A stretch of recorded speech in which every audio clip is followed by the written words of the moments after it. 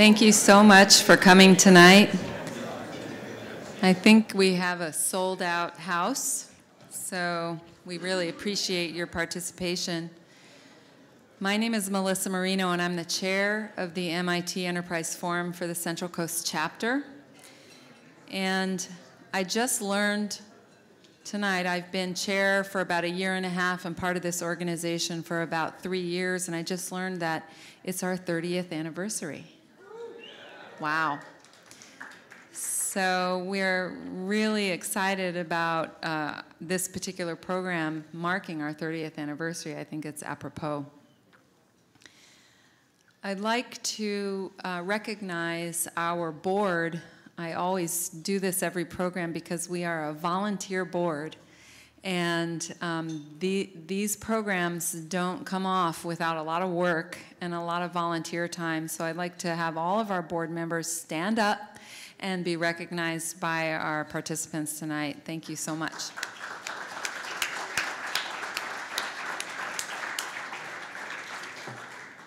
In addition, we have several sponsors here uh, this evening, so I'm going to just kind of run through the list, but if you're on this list, please stand up. We have Bank of the West, CIO Solutions, Cresa, Fast Spring, uh, Nassif Hicks and Harris, Pacific Coast Business Times, Riviera Insurance, and if I missed any of our premier sponsors, please shout out, but let's please recognize our sponsors.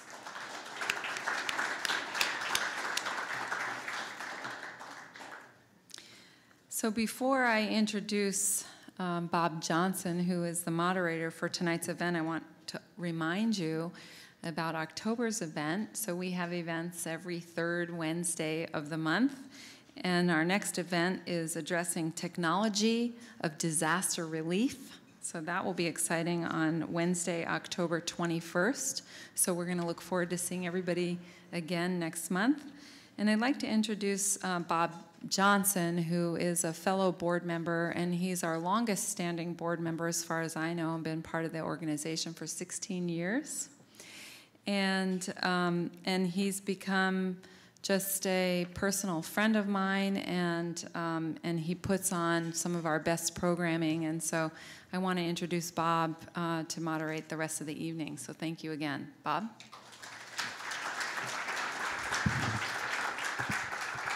Thanks, Melissa.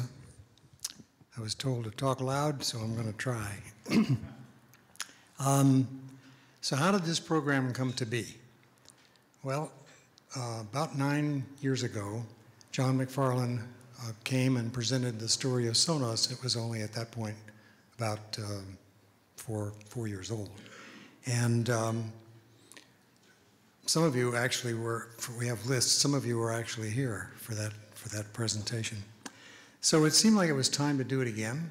And uh, so I went to John and said, you know, an update, it would be interesting etc. And he agreed to do it, but he said, I think there's something that would be a lot more interesting, and that's to talk about what's happening in the industry more broadly, particularly the things that are happening now and what that's going to mean. Um, and I said, that's great, but who, I wouldn't have no idea who to go find to do this. And he had ideas, and here they are. Uh, so many thanks to John for assembling this amazing group. It was not easy. Um, the uh, Marc came from Germany just yesterday. Um, a lot of people have you know moved around to, to get here and, and be here. I'd also like to uh, make a little bit of a call out to Tom Conrad. He was here six years ago. Um, he had to come at the last minute because Tim Westergren, the CEO of Pandora, couldn't make it, and so Tom came down and he had no idea what he was supposed to do. And he gave a great talk. It was one of those things where he just told us what was going on. And um, some of you were here for that too, and there were a few people who were here for both. So it's a long history, but um, that's the kind of stuff we like to do to keep following what's going on technologically influenced industries. And uh, a major thanks to Marc for fitting us into his schedule. As I said, he came from Germany just Monday night to be here. And I think you'll find his presentation tonight to be something that you will remember. Before we begin, I would like to introduce two special guests. Um, two honored folk who live here in Santa Barbara and have been in the music business for a long, long time, and in fact, come to some of our previous sessions. Uh, they're both still active. Uh, first is Bud Carr. Bud, where are you? There he is. Bud has had a long career producing films and supervising music and, music and films independently and with several major film studios. He's still very active. He's currently working with Oliver Stone on his latest film, Snowden, which is about, of course, Edward Snowden. Um, on a personal note, one of Bud's uh, favorite achievements is that his son has this thing called a Carr winery, which is just a few blocks from here.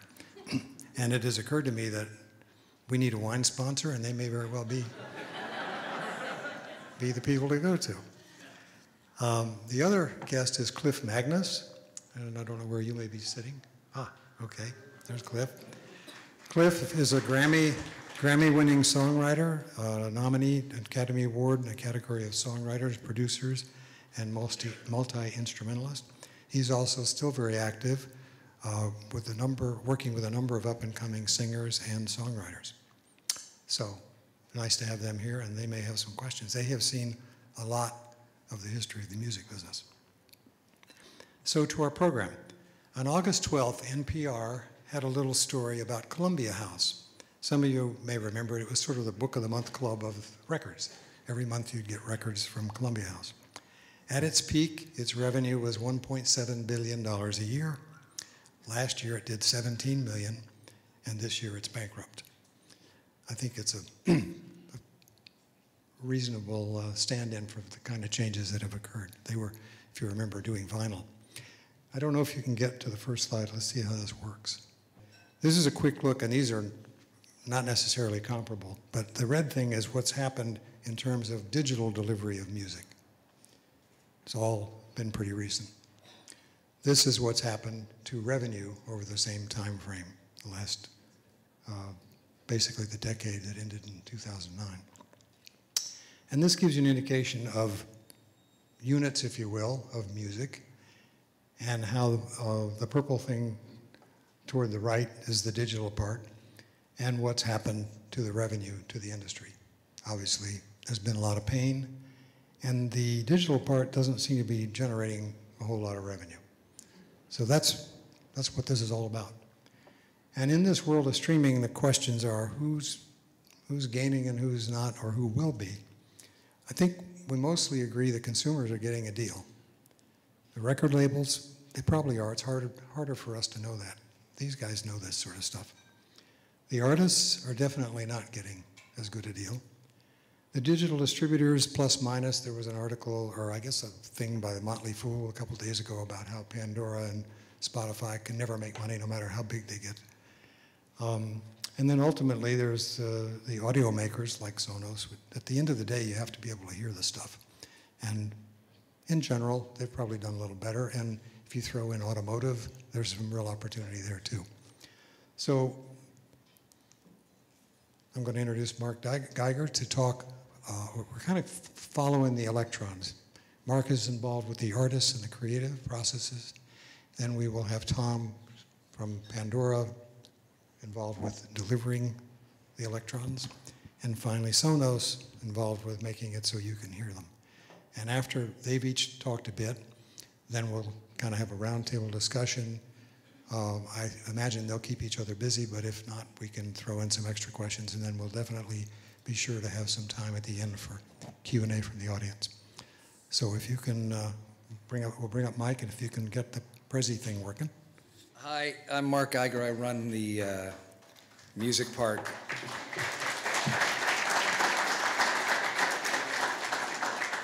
Your office reminders to me when to shut up.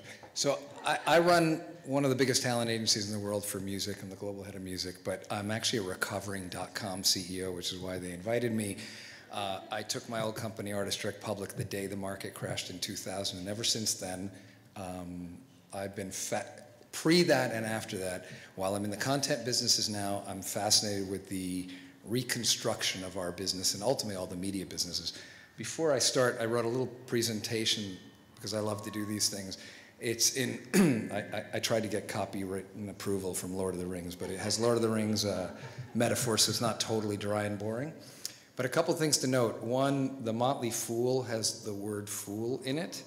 Um, they're not really right about Pandora and Spotify, but I understand why they say that. We'll talk about why, so a little bit about why they're not right and what scale means, um, and how these companies will be making money unless they just mess up and they don't get the consumers. And two, um, they showed kind of those graphs about revenue dropping. That was, just so everybody's clear, that was a function of the suppliers not keeping pace with the market. Otherwise, consumption's up. All right, I, I think, just to give you an example, uh, two weeks ago, they released a statistic that there were 1 trillion songs streamed in the first six months of this year.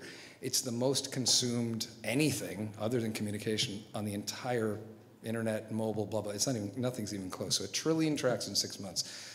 So when they talk about not being able to make money, it's just not being able to monetize it properly, but the, the consumption's already there, and that's quite unique. Um, the other thing was I was at the Video Music Awards. They were terrible, but um, when Taylor Swift was accepting her award, she said something unique. And she said, Hey, I just want to thank my fans for watching this video that won the award. You guys watched it a billion times. And if you grew up in any part of our business, those numbers never existed. A gold record was a million, platinum record was a million sold, and it was huge, right? Michael Jackson sold 20, 50 million record, whatever. So these are, we're in an unprecedented time of scale. But I'm going to take us back a little bit, not quite to Middle Earth, but before then. in the beginning, there were physical formats and everybody was happy. And then the internet came, and the music hungry and unsatisfied said, I want my music on my computer, damn it. And so the crumbling of the industry began. And the war took all the money and all their property except for live income. Digital music starvation then came about in about the mid 90s when unsatisfied music fans wanted more music at much cheaper pricing through the net.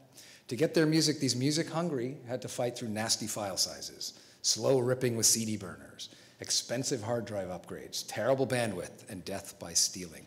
Now, I, I got, I met a couple 17, 18 year olds here. They have no idea what I'm talking about, so it's kind of funny.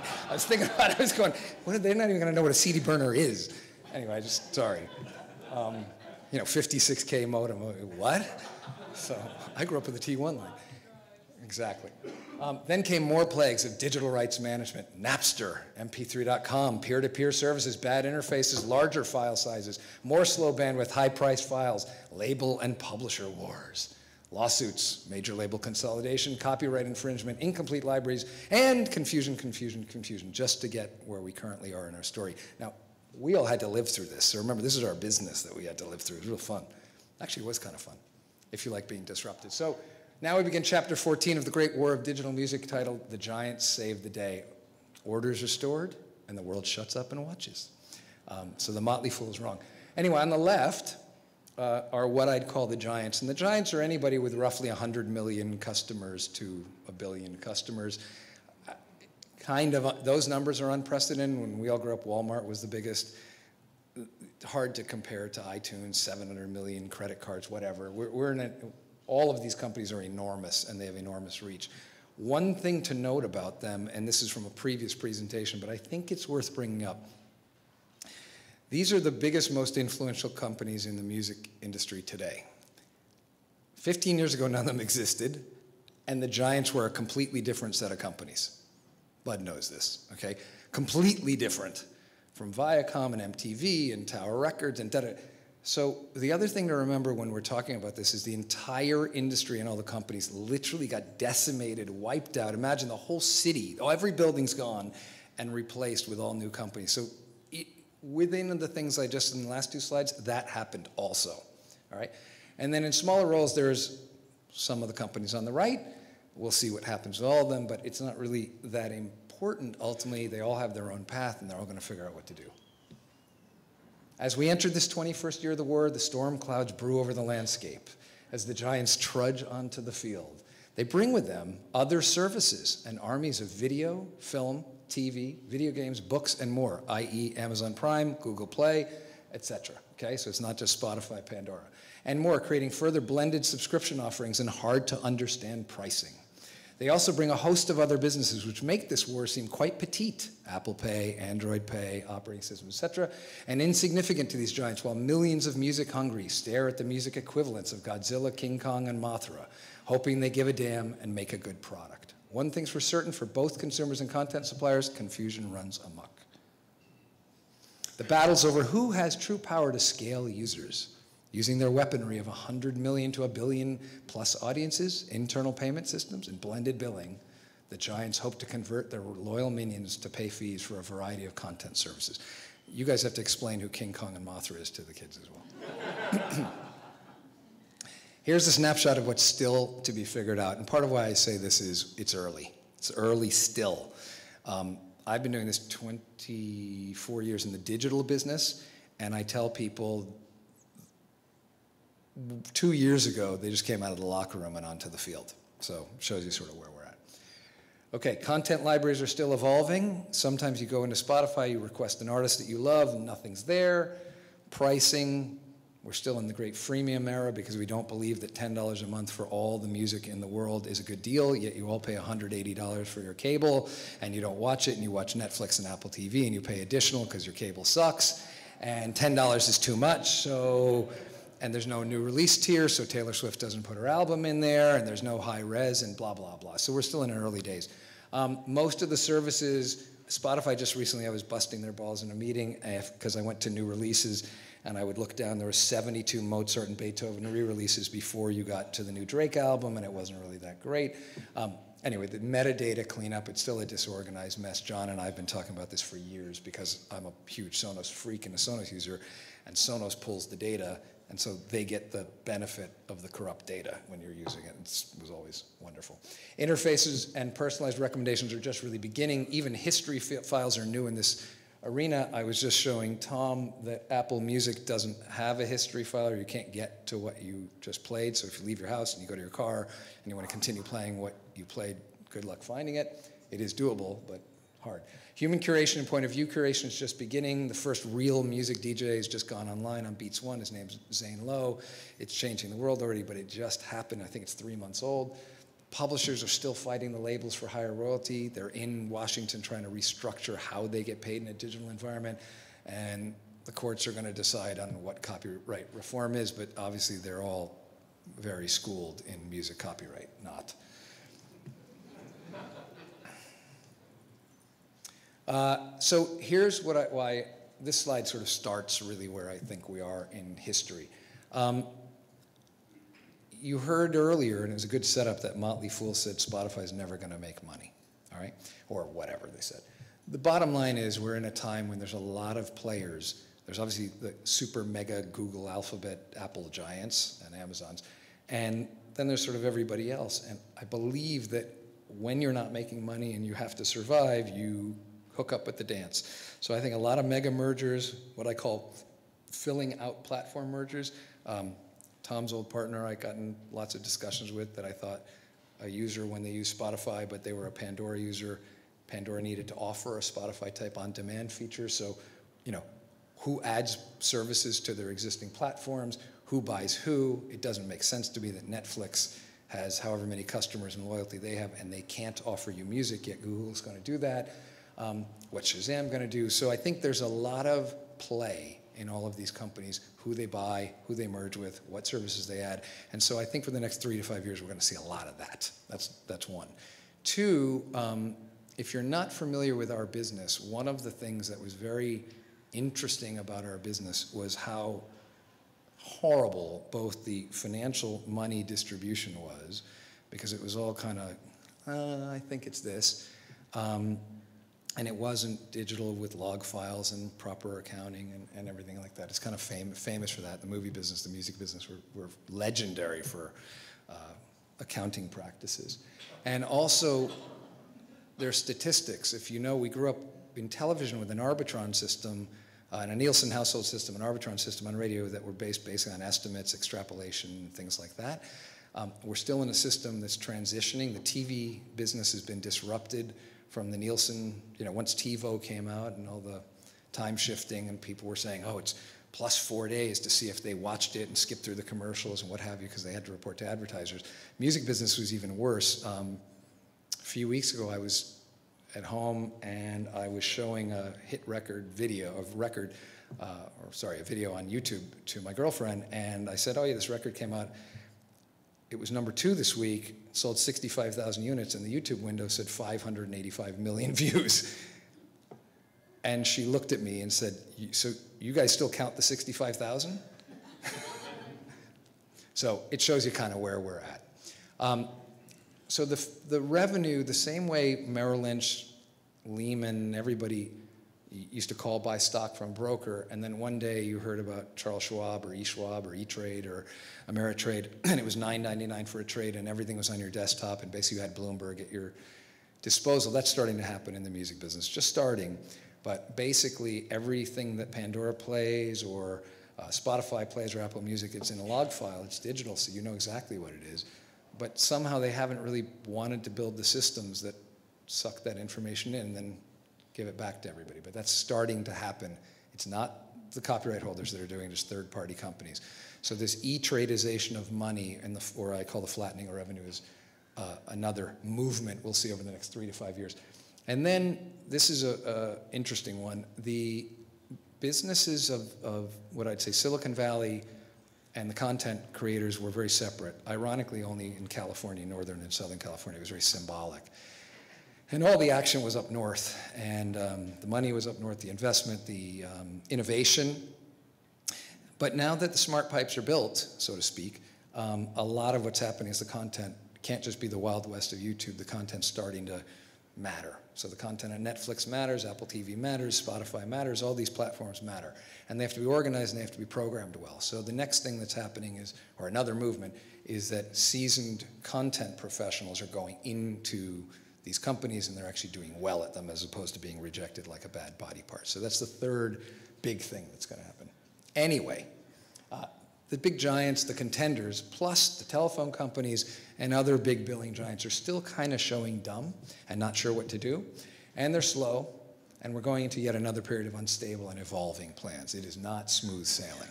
And there's a lot of copycat in our business. I call it lemming-like behavior, all right? And that is happening all over the world. I just came back from Australia. They barely know what Spotify is? Few things for sure. Streaming has won. A trillion songs, six months. Vinyl, ironically, for those of you that still have your vinyl, is the preferred physical format, and it's working, and the value's going up. There was always going to be a, a, coffee table physical victor. Um, I don't know that the industry thought it would be vinyl, and it's mostly for romantics, but it works. As I said, $10 a month is still a fight, which is nuts to me, but whatever. Um, the windowing and tiering I spoke about has not commenced. We're still in the great try it before you buy it era. No one understands blended offerings yet, not even the copyright holders and the content providers. I don't know. I, I asked every digital, digitally savvy label, movie studio head, whatever, do you know how much you get paid in Amazon Prime or Google Play? And they couldn't, they have no clue. I said, if I pay $100 and I get all those things, is it based on, is it a flat rate for movies, video games, books, television, music, and it, the $100 is carved up? Or is it based on usage? And they said they don't know. And I thought, all right. Um, so that leads me to the next point. The industry has no idea where the money is coming, going, nor do really the creators. Um, however, a lot of the copyright holders did get equity for some of these players, and hopefully they'll make money. They're starting to get sued for it because they didn't share it with the artist, but that's okay. Um, at least they're getting something to sort of bridge this revenue chasm they've all been through. As I said, the flattening of money or the e-tradeization has begun. Um, like they did with iTunes, because they said iTunes was terrible and Apple was ruining the business until they sold about $6 billion worth of files, and then they thought iTunes is saving the business. Um, they thought Spotify and, ever, and, Pandora were killing the business, not paying them until there's 100 million subscribers, and then they'll think they're saving the business. So that's going on right under our nose.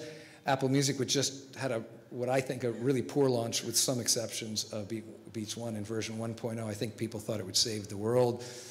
I think people also forget soft, anybody who's smart in technology, and I think everybody in this room knows, if you buy version one of something, it's a risk. You wait for version 1.2, version 2, version the third version, whatever it is, and Apple 1.0 came out kind of, but they do, we do have our first ever worldwide radio station. It's kind of fun to be all over the world and be able to listen to one thing that feels familiar. Uh, I still am mad at the BBC, who makes some of the best documentaries and programming in the world, but if I live here, I can't watch them on their iPlayer, even though they, are, they were the first, one of the first ones to do the internet quite well. The charts are all changing, consumption's all over the place and on track, i.e. 65,000 sales and Nielsen ratings still matter. And okay, a trillion track stream, so everybody should calm down, it's gonna work, including the Motley Fool. In any case, next few years will be marked by rapid user growth, refinement of these offerings, personalized interfaces, expanding content libraries, confusion and complaining over the money, and lots and lots of action. Thanks. Well, that's a tough act to follow. I don't have a extended Lord of the Rings metaphor for you. Um, so my name's Tom Conrad. I spent 10 years as the um, CTO and um, head of product and engineering um, and design at Pandora. Um, uh, they asked us, uh, uh, at least my synthesis of what the ask was for these this first 10 or 15 minutes from each of us was to talk a little bit about our experience of music over our lives. So I thought I would start um, at the beginning. Uh, the first record I ever bought was Shaun Cassidy's eponymous debut in 1977. For those of you I'm glad it's such a cool one. Anyways, I thought maybe you would remember the Do Ron Ron. Amazing, amazing track. You know, this is a thing that happens when you work in the music business. People ask you, like, what was the first record you ever bought? And it's always something cool, unless it's Shaun Cassidy.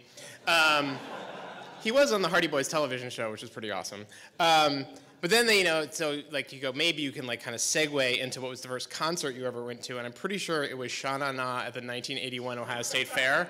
So not, I'm just not winning on this, this dimension. Um, I got a little bit better um, uh, about the time I got to high school. So I was in high school when the CD player first was kind of um, uh, you know coming into fashion, and um, so I bought my first CD player in 1988. The first CD I ever bought was um, Peter Gabriel Security, I think, which is I think is a much cooler, much cooler choice. Um, and uh, somewhere along the way, I, you know, I was kind of that guy, that guy you knew in college who wanted to kind of sit you down in front of their stereo and say, oh, if you like, you know, if you like The Cure, um, you've got to hear Siouxsie and the Banshees, and if you like Siouxsie and the Banshees, got to hear The Glove, and um, just kind of bore you to death until you tried to sneak away. Um, uh, so I went to college in, uh, from 1988 to 1992, and just to kind of set this in people's memory, this is before um, the MP3 was invented. The first commercial encoder came out in 1994. Um, this is way before Napster. I remember like kind of getting my paycheck from the, the computer lab that I worked in and like taking off like my books and my rent and stuff and figuring out like, okay, I've got you know $45 left. That's that's and measuring it in basically how many CDs I could buy um, with uh, with what was left over. Um, and uh, so I was um, a big music nerd, um, very lean-in kind of music fan um, when I came out of college. Um, but the other thing that I was really passionate about was uh, was personal computers, and I, I really went to college I mean, honestly, I went to college so I could work for Apple. It was like my only goal, which meant I really paid no attention in physics class at all. Um, uh, so in 92 when I graduated, I got my dad's car and I drove to California and I got a job at Apple working on the Macintosh. I spent some time um, uh, developing video games in the mid 90s, uh, including a game called You Don't Know Jack that was a little bit popular for a while. And then I ran engineering at pets.com and nearly destroyed the US economy by myself. Um, along the way, um, the CD collection of mine kept big, getting bigger and bigger, and um, I was a, uh, I mean, I always, I, I, never really sort of participated in the whole Napster early MP3 era. I mean, it always seemed like stealing to me. Um, uh, but I did eventually um, rip all of my CDs. You talked about it, you know, people who can remember that. It took, a, I think it took me about 250 hours to rip all 1,000 of them. And you know that meant they ended up in iTunes, and I could put them on my iPod. I could stream them to my stereo with um, this this little tiny kind of funky device called a Squeeze Box from a little company called Slim Devices. That was an early competitor to you guys. Um, and uh, um, but I remember being just really frustrated. And this is about 2003 now. I'd done all this work. I'd spent all of this time putting my, my music into a computer, and it did almost nothing for me. Um, it wouldn't tell me when new albums came out by my favorite bands. It wouldn't introduce me to other people who had similar music taste. It wouldn't um, make recommendations about other music that I might find interesting based on what it understood about me. It just seemed like this really, really, really stupid jukebox. Um, and so I started thinking about kind of how I could take some of the things that I'd learned developing recommendation systems and consumer software and software for the internet and create um, applications that would um, uh, make use of all that kind of technology in the context of music. And um, before I go on, I'm going to talk about Pandora a lot. I really I should remind everybody that I haven't worked there in 15 months. Um, uh, a lot of the team is brand new um, and really, really incredible. A great new CEO, a great new CTO, a great new head of product. Um, a great head of strategy that just came in. Um, so I'm going to talk about Pandora a lot, but it's, it's a lot of my perspectives are pretty dated at this point. Um, uh, and certainly I, I want to make sure that, that uh, they have all the, the room in the world to, to navigate the next 10 years. Um, but in 2004, I met a guy named Tim Westergren who um, had created something called the Music Genome Project. Um, uh, and the idea behind this was to do a rigorous analysis of 100 years of popular music um, and to understand each and every song at the musicological level. So not just you know, what kind of guitars are being, uh, are being played, but, but what does the competition, composition for the guitar look like? How do the, all of the instrumentation come together? There's 40 different attributes that define just the vocal performance in a pop song. Um, now, unfortunately, at the time, and still today, we couldn't write software that would listen to the music um, automatically and extract these musicological properties. Uh, back in this era, like a really, the state-of-the-art kind of machine listening software would be able to extract maybe 10 or 20 properties, and we were encoding hundreds of different properties about each and every song. So um, we did the unfundable, unscalable thing, which was we hired um, semi-unemployed professional musicians to come to the office every day um, and uh, put headphones on and, and, listen to every song that would ultimately um, be part of the recommendation engine of the Music Genome Project and analyze them across these hundreds of, of dimensions. Um, so I came along in 2004, met Tim, and he'd been taking this technology and putting it to use I mean, frankly, kind of in any context where someone would pay him money for it. So he had built kiosks for um, Borders and Best Buy. He had built a website for Tower Records. He'd built an API to plug into the music section of AOL.com. Um, uh, but he'd also, on the back of, of that success, raised some money from the, the venture community for the first time. And um, uh, with that investment came the expectation that they bring in some consumer-focused people like myself and Joe Kennedy, who was the CEO for a decade, um, and uh, and build a consumer product. Um, this is a picture of a cactus that I drew the other day. I think I have a joke to make about this, but I'm not really sure what it was. I think I was going to say that this is really all I've accomplished in the last year. Maybe, I don't know. Um, anyway, um, more significantly, the question, though, in 2004 when we had the Music Genome Project and nothing else was, what kind of consumer music offering do we want to be when we grow up? And candidly, kind of looking at my own music consumption, I was really excited about building something for a very lean-in music user. I still wanted to solve this problem of I've you know ripped all of these CDs and let's take all that data that we know about the people that have done that work or built MP3 collections on their own through theft, um, and make you know additional music recommendations, introduce them to new music, other people that like the same kind of music, bands that are coming to town, and so forth. And Joe Kennedy, uh, the CEO, though. Um, made this observation that if you really want to um, impact the world of music at scale in the United States, it's really all about radio, which is a huge surprise to me. But um, still to this day, 80% of all music entertainment in the United States by hours consumed is radio. Just 20% is music that people own. Now, probably the kind of people who come out tonight, um, you know, to participate in an evening like this, you're not you're the exception you're nothing like the rule. This probably seems like the biggest bunch of bullshit but this hasn't changed for you know for 100 years. This is this is what music consumption has looked like for time immemorial. Now it's like 70% terrestrial radio 10% pandora now um, but um, it's still kind of this radio format where you don't have control over what plays. You give it a, kind of a hint about what your musical taste is by maybe selecting a frequency on the fm dial or telling pandora the name of an artist or song that you love, and the DJs behind the service, whether that's software or humans or some middle ground, which is probably what Clear Channel is, um, uh, make the choices for you. 20% um, of music um, uh, consumption is kind of the on-demand category. So that might be buying vinyl or CDs or subscribing to a subscription service like Spotify or Apple Music. Um, and so when you look at it, like, why is that the case? Why, you know, do people get so much of their music entertainment from radio? Um, the first thing is it's really easy, and like I have to say that like, you know, while I love the experience of going into an Amoeba Records and being surrounded by, you know, thousands and thousands of pieces of vinyl or CDs or, or, browsing around in Apple Music or Spotify to find the new release that I'm excited about, a lot of that experience for the everyday mainstream music consumer is incredibly intimidating. It makes them feel stupid um, because there's this vast world of, of music and they just don't know how to find what they're interested in. So radio solves that by being very simple. You press a button, some music comes out. It has this interesting characteristic where it's full of discovery. The playlists are kind of constantly evolving without you doing any work at all. But it's also very familiar. I mean, a lot of what works in radio is this idea that there's a certain kind of repetitive nature to the format. Um, and of course, finally, it's ubiquitous. It's in every car, it's in every bedroom, it's in every kitchen. Um, uh, and that you know, having the music just right at your disposal everywhere you go um, is incredibly important. Um, but radio also has failings. Um, increasingly in the United States, the the music stations that you get on the FM dial cater to a narrower and narrower musical range.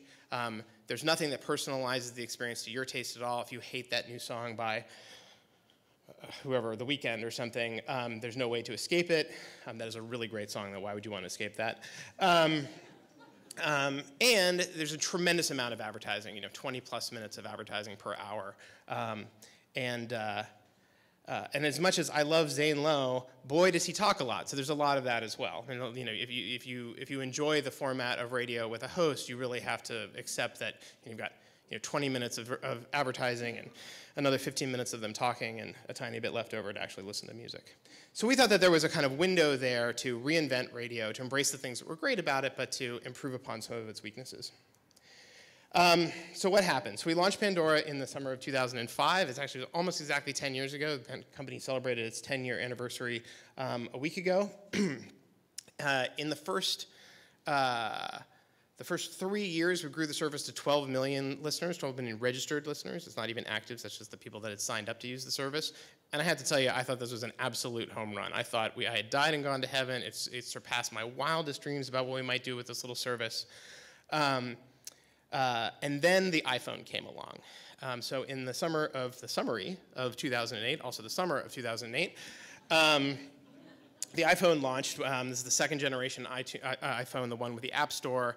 Um, Pandora um, was very, very fortunate to have a, an app in the store on the first, uh, the, the, day that it launched. Um, and part of what made that possible was about three years before the launch of the iPhone, um, we began investing in building um, clients for mobile phones. Um, I'm talking about like flip phones, like the Razr and the you know the little um, LG phones that we all carried before the iPhone came along. Um, I had to tell you that was a tremendously difficult work. Um, and um, not just difficult but unrewarding from an adoption standpoint. I think that I think we had we had Pandora running on 40 or 50 different feature phones across all the carriers for about 18 months before the iPhone launched, and I'm pretty certain that the statistic is that we had more listeners um, on the iPhone three hours after it debuted uh, than we did on 18 months on the flip phones. Um, but we laid a lot of the, the groundwork for being able to really build a, a high quality mobile experience on the iPhone by making those investments in um, those, uh, earlier, uh, those earlier platforms. Um, so fast forward um, to today, um, about 80 million people tune into Pandora and listen every month. Um, it's a service that's um, only available in the United States. If we compare it to what that looks like against some of the other properties that you're familiar with, that's a larger audience than Twitter has in the United States. Listeners spend more time listening to Pandora than they spend watching YouTube videos in the US or on Facebook in the US. And of the top 10 mobile applications um, by audience, um, Pandora is the only one that's not made by Google or Facebook. Um, it's almost 10% of all radios, take all terrestrial radio, satellite radio and so forth, put it in one big pool, Pandora comes out to be one out of every 10 hours. Pandora is the largest radio station by audience size in every major market in the United States. Um, and uh, Pandora, at this point, I think I, we can safely say successfully competes with literally everyone because every single company in digital music has at, built at least one, if not two or three Pandora clones. Apple, Google, um, Clear Channel, I mean, who am I forgetting? Everyone. Um, Yahoo, et cetera, et cetera, et cetera. Um, so, why did it work? Um, well, I think in part it worked because we were a very, very focused company. Um, it wasn't that it was lost on us that there was a big opportunity to reinvent the kind of the record store by building something like Spotify or now Apple Music or Rhapsody for that matter. Um, but we just thought it was a big separate problem, and we had our, you know, our hands full building something that would reinvent radio. Um, we also focused on making the product incredibly easy to use. We focused um, relentlessly on personalization and, and, making sure that the audio experience of Pandora was an exceptional one. I mean, I got beat up a lot as the guy who ran product for not adding features to Pandora. Um, people would constantly come and say, you know, another year has gone by, Tom. Why aren't there four more buttons in the user interface that you can point to and say these were the four big features of, you know, 2009? Um, and what that analysis of Pandora missed is that we were taking all of those resources and plowing them back into making the best playlists in the world. Um, when we launched um, Pandora on the iPhone, uh, this funny thing happened. People kept coming up to me and saying, uh, I really love Pandora on the iPhone. Um, it's incredible. The, play, the playlists are so much better than the playlists on the web. This is a curious thing to say because it's exactly the same servers delivering exactly the same playlists. Um, and I was puzzled by it for a while. And uh, I started to develop these theories like, oh, well, maybe like it's a kind of placebo thing because you have it in your pocket and you take it with you and it feels much more personal and you're just much more engaged in it. It can be part of your life away from the computer. And so, you know, all of this, these theories. And then I finally thought to ask one of these people this question When was the last time you listened to Pandora on the web? And they said, oh, and you know, in 2005 when you launched. Aha, well, Pandora in 2005 versus Pandora in 2008 is, was not a fair match at all because the playlists were terrible in 2004, and they were getting okay in 2008, and uh, we've made a lot of progress um, since then. Um, uh, we also invested a lot in ubiquity. Um, so it's easy to focus on the success we had on the iPhone and then Android, but we had a huge audience on BlackBerry for the BlackBerry area, era. Um, we were on, um, I keep saying we, I really shouldn't say we, there, on um, you know, over 100 distinct automobiles today um, and thousands, literally thousands of consumer electronic devices, of which Sonos is, of course, our favorite. Um, and by our, in that sense, I mean my wife and I's. Um, um, uh, and then I would say that it also worked because, like, I think the people who start digital music companies are like me. They're music nerds. They, you know, ripped all their CDs and want to sit around and talk about the first Nine Inch Nails concert they saw and, you know, how there were only seven people there and yada, yada, yada. They don't listen to the radio. So everybody, just their natural focus to like build the, you know, solve your own problem, build a product for yourself. Well, we didn't. We built something that's not for lean-in music fans. We built something for like Joe Average, the, the, the, the kind of regular music consumer in the United States. Um, so it was an incredible run, um, uh, exhilarating, exhausting, um, rewarding, um, uh, but there are a lot of things that I, I worried about. Uh, uh, during my tenure there, and frankly still worry about today. Um, uh, and I'm just going to kind of tee this up, and maybe we can talk about some of them um, as we uh, as we move forward with the discussion. But like, I worry a lot about the animus between artists and labels and songwriters and services like Pandora.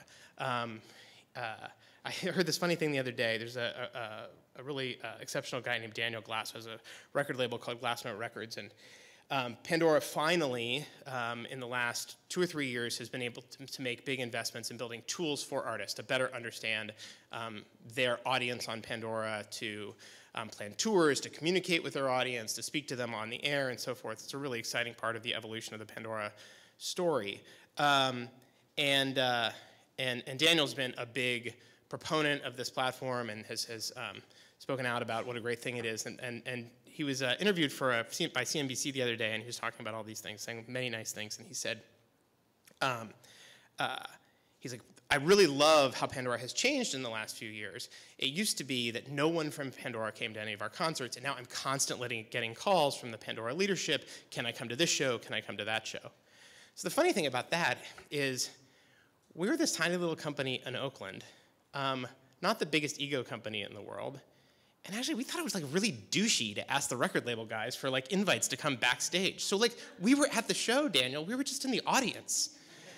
Um, so it's just it's funny. Like there's these. So, so his perception of us was we were snobs. We weren't even showing up for his shows. Our perception was like, oh, we don't want to be the douchey guy who's like in this just so we can meet famous people. Um, so lots to do um, uh, to improve the relationship between um, these these different uh, parties. And I guess my sense, and maybe maybe this may seem a little Pollyannish, but I, um, I actually think that in most instances everybody has the same set of goals in mind. Um, uh, at least on the service side, my perception of it is, is truly not that the services are trying to you know, find their success at the expense of these other entities. In fact, quite the opposite. Most of us got into the business because we wanted to help artists find their audiences. Um, I worry a little bit about the high price of on-demand services. It is very clear that the on-demand streaming is going to win. Like it is the future of the record store. We are not going to like download MP3 files to our you know iPhones and you know manage them on um, USB drives. Um, but the, the trick is, is that the typical US consumer for time immemorial has spent 35 to $50 a year on music. While $10 a month, I completely agree with you, seems absolutely ludicrous that we can't get Americans to spend that much on music when they spend, you know, um, gobs more on that than things like cable television and coffee and so forth.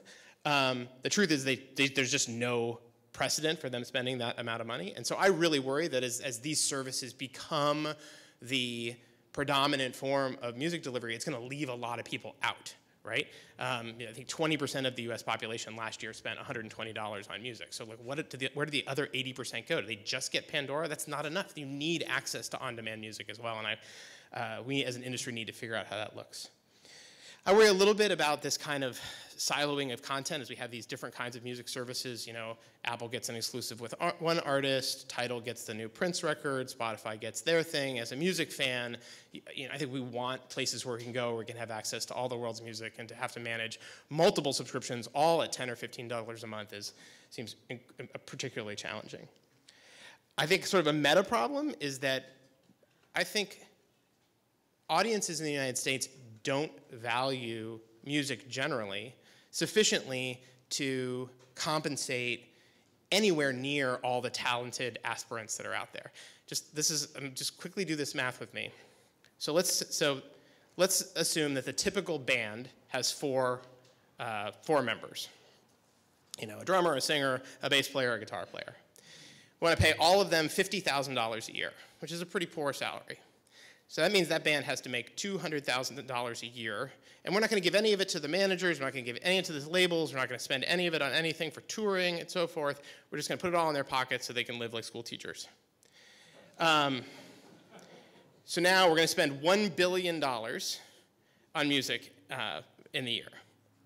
That $1 billion pays 5,000 bands $50,000 a year each. So we're talking about an industry that, you know, at its peak was for the recorded music was $16 billion. Maybe the whole category now is when you take live into account and so forth is 30 or 40 billion dollars. We're talking about enough money to only pay maybe 150,000 bands, 200,000 bands, this kind of school teacher salary. Um, and that's if the labels and the managers and the venues get nothing. Um, and just to put that, all those numbers in context, so a couple hundred thousand bands, there were 100 million bands on MySpace. 100 million. So there's just not enough money to compensate the talented aspirants. Um, and so I, I think we have to, I think we can't, it's always going to feel like the artists are getting the short end if we don't find a way to put more, get consumers putting more money into the musical ecosystem to uh, compensate all these incredibly talented people. And then finally, I, I think that there is a, a nuance in the conversation about um, uh, curation, which is a big topic these days. We talk a lot about how Beats was curating playlists for their audiences, and now uh, Apple Music is curating playlists for the audiences. Pandora is actually always curated. Uh, it's funny we we uh, I think our competitors like to talk about it as like the big robot in the sky, but like you know. Um, they only started doing that when it didn't work to make fun of the fact we had professional musicians who came to the office every day and put headphones on and made selections of music and encoded did all this encoding work and all of the genre stations on Pandora are hand curated um, that, to feed the initial algorithms.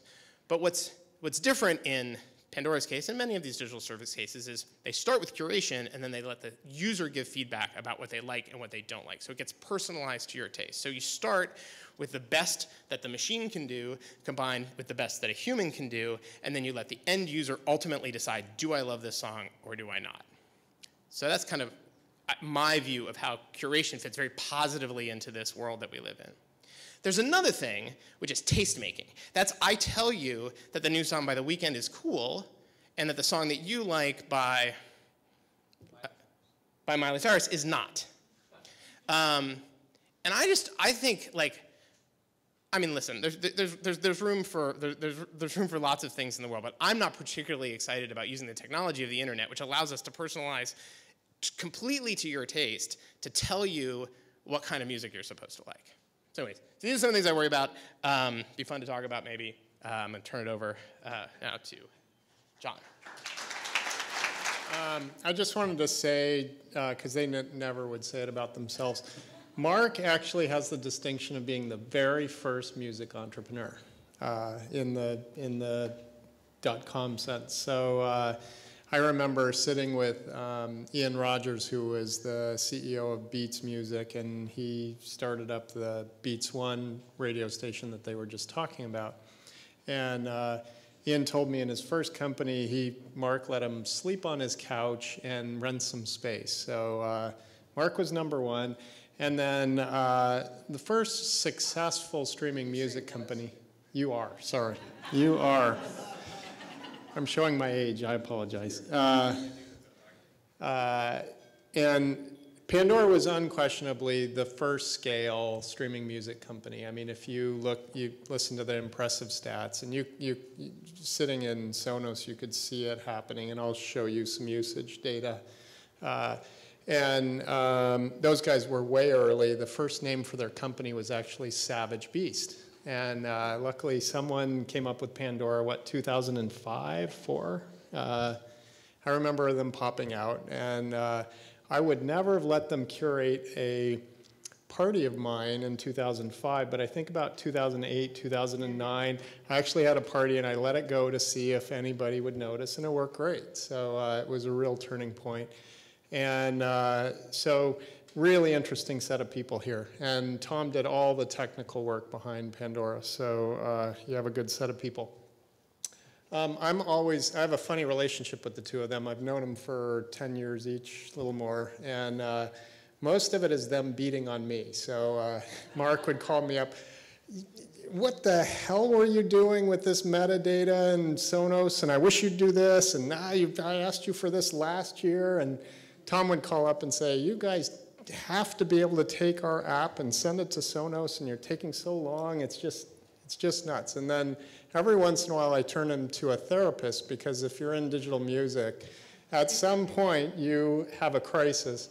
And uh, uh, Tom will call me up and go, God, I'm so worried. What if Apple Music fails and it takes the whole industry down? Ah, Tom, be, it's okay. It's going to work out.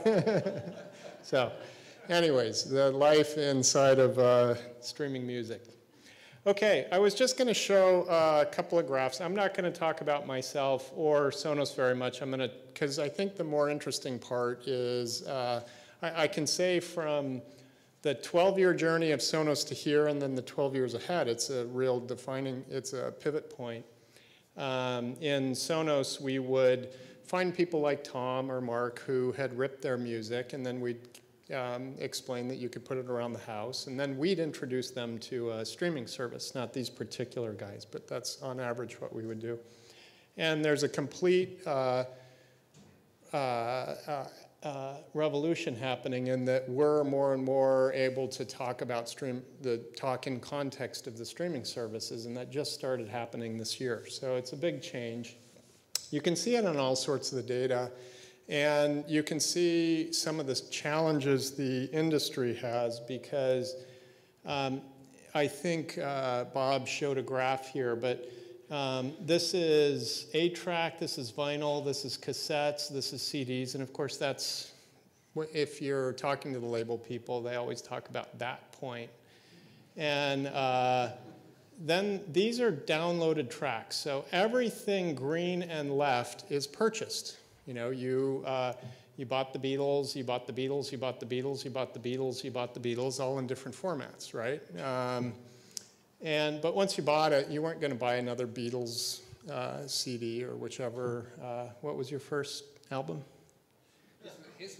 Yeah, you didn't rebuy that in CD, did you? Mine was Don't Shoot the Piano Player by Elton Oh, awesome. That's a good album. Yeah. Uh, that one is streaming. Now, the funny part of it is it's subscription.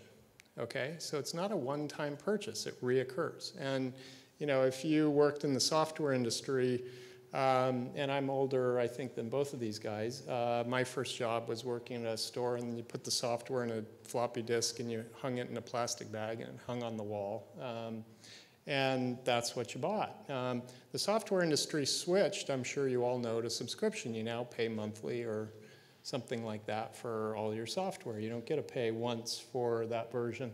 And, and it's a better way because you're, you know, if, you've, if you're in the software business and you know your customers are paying you every month, it's just, it's more stable business. If you're a public company, you've got better visibility of the revenue, everything gets better. If you're in the music business, the miracle is pay per play. You know, when, when Sonos did its first integration with uh, Rhapsody. Um, Rhapsody paid about a penny a track per play. So each time you press play on any track and you picked a track, outwent a penny to all the rights holders. Um, now, how the penny got divided up and everything is a whole interesting conversation. And by the way, that predates digital music. There's been fighting over that stuff from the beginning of time between the labels and the artists. Um, but that's a really interesting model, and it's not comparable to these because over time, a, a, a usage model uh, versus a per play model, you have to make some assumptions because they're apple and oranges. And the industry doesn't even know how to compare them yet. I literally took this out of, uh, I think this came out of the RIAA stuff, but uh, I was telling uh, Tom Conrad earlier when I talked to the Universal CEO, he couldn't even track the Pandora revenue. And Pandora is about a billion dollars in revenue annually, and about 500 million goes to the, the SoundExchange, which breaks it up among the labels. And uh, the biggest slice of that 500 million goes to Universal. And, and Universal didn't even know how big that was because when SoundExchange would report it to Universal, they'd report it in a category called Other. And Other was getting bigger, but they had no idea what it was until I pointed it out. Uh, so, you know, the industry is just going through a, a big change. Um, I would entirely agree with Marc, and he and I have been aligned on this. There are more people listening to more music all over the earth than ever before, and he gave you that track number. And it's a, it's a creative process, and uh, it's just how you connect those two is getting redefined. It's not through Tower Records, it's through Pandora and Spotify and Apple Music now. Um, you know, the CD did an interesting thing. We've all heard about it. It really spiked the album sales because, you know, that you've all run into and you've all heard about the three tracks on the 12 track CD that you didn't want. Um, and of course, in digital music, that broke it up. So if you want to make an album in this modern day, it better be a good album, like when the Beatles made an album or um, when Quadrophenia came out, because you're going to have to get the fan to listen to the whole album. They're going to skip the tracks they don't like if they don't fit. Um, I don't think there's anything unhealthy about that. Uh, one of the artists once told me, eh, if I really wanted them to listen to the whole thing, I'd make one track that was 35 minutes, and people don't do that. But uh, they will. Um, I'm sure some artists will. Uh, they still talk about track equivalents sold. So you see this, you, you, know, there's lies, damn lies, and statistics. It's really true in this industry because the industry doesn't know how to track the right things yet. Um, the other thing is every country is different. So this is a whole set of different countries. It's a little out of focus. Um, one is uh, physical sales and one is digital. And you can see it's just all over the map. It depends where you live. Um, the bottom one is percentage using free or paid music streaming services uh, or download services in the past month. Um, the white is subscription. The uh, brown here is downloads. And you can see it varies by each one of these is different countries. Not surprisingly, that's Sweden. Now, that's hometown for Spotify.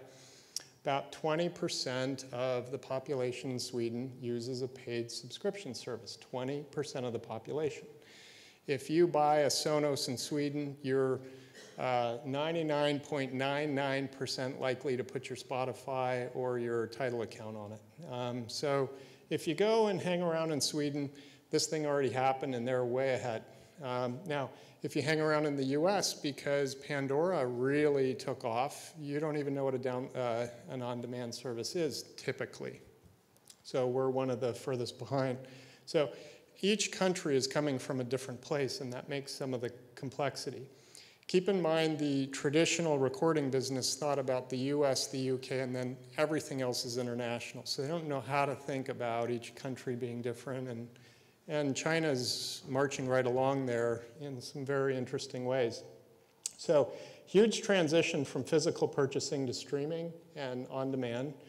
Uh, physical still dominates in a lot of countries. Australia, 65, or Austria, 65%, uh, Germany, 70%. Japan 80%. Now, a funny thing happens in Japan. Um, one of the heads of the labels said to me, why, do, why is that the case? And I said, because you haven't licensed a single streaming service in all of you know, the country. No surprise. Um, and a funny thing happens. If you look at the demographics in Japan, the older population still buys CDs. The younger population goes to a CD rental store. And if you look at read writable CDs, they know what it is because they're using them, and it's the largest market for read-writable CDs because they're ripping music and they're not paying. You know, same thing that happened here when Napster came out. So we don't learn our lessons very often, and that's a good example. You might read in the paper that uh, Google Play Music launched in Japan. Now, what they don't say, if you look in the fine print, 4 million tracks. Now, Google Play Music in the US, if you get on there, 40 million tracks. Um, Sony launched a uh, streaming music service in Japan, couldn't get Sony Music on it, okay? so it's, it's just kind of a confusing environment where this is going on. Here's a really interesting country I cut out, Finland. This is from 2014 and 2015. So uh, and the interesting thing is the total market stays about the same 15 um, billion euro, 15 million euros. Now the breakup in one year, uh, green is subscription. Uh, green is subscription, and uh, yellow is the physical. So look at the shift happening. Um, and this isn't unique. You just have to dig into each market and see it happening. So it's, it's all happening. It's just not easy to see it in aggregate level because you have all, you have all sorts of different um, outliers. You know, so what is, in the end, what's the behavior this whole industry is serving? It's serving music listening, and that's been going on for thousands and thousands of years. It'll be happening in thousands of years. It's a creative endeavor. It's hard to make great music. That's all healthy. Um, but what's happening right now is all these music lovers are coming from different places on the planet. And so in the US, you have a mix of physical. Um, uh, Marc still has his ripped collection, probably.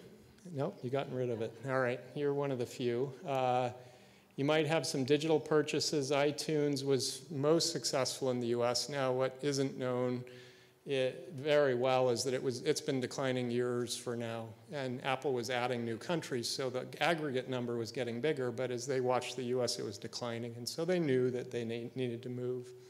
Um, but people have some tracks they've purchased, and what do you do with them? Um, and here, uh, when you look at Sweden, they were physical and they went hardcore to piracy. This was the epicenter of piracy and they were protected by laws. So no, no recording, no label, no artist could go after the Pirate Bays and the BitTorrents and the stuff like that. And in fact, all the founders and, and people behind Spotify were behind those original services. So when you see the big fights between free and paid and in Spotify, keep in mind they had to bring the entire youth audience that had gone free and were fully protected into paid. And they've done that. So 20 million people are paid on demand. You, uh, 20% of the population of Sweden are paid on demand. So, uh, you know, that's a big data point. China's going straight to streaming.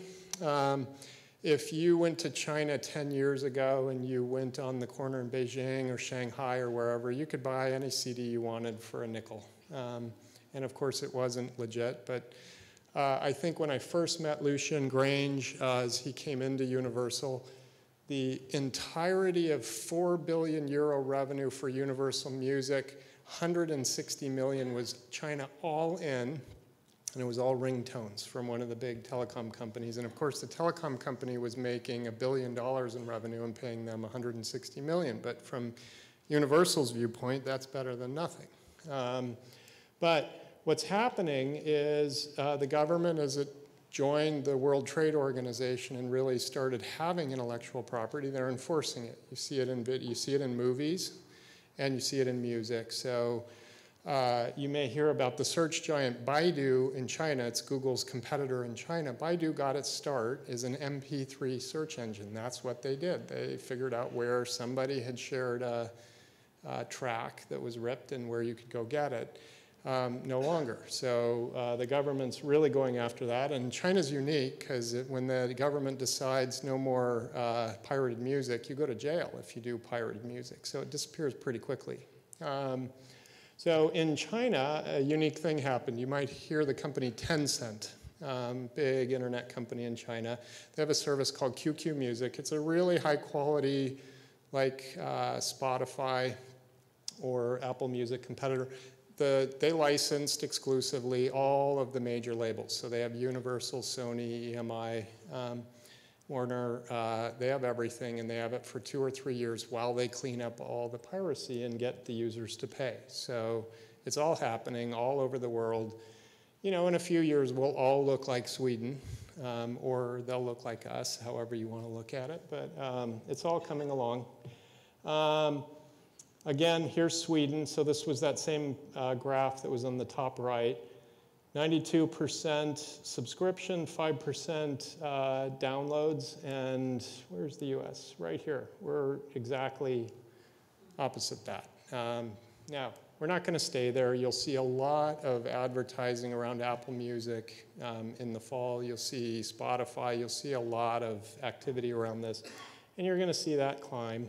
Um, I always I like to compare this to the internet days, and uh, in about end of 1995, the internet had a, just about 50 million paid internet users in the entire world, 50 million. And in 95, to remind you, Netscape was the king of the crowd. Uh, everybody talked about what Netscape was doing. Um, there are the search giants were Yahoo and Alta Vista, and Yahoo, by the way, was human curated search, if you remember. Excite, InfoSeek, yeah. So Google didn't even exist. They were in grad school at the time.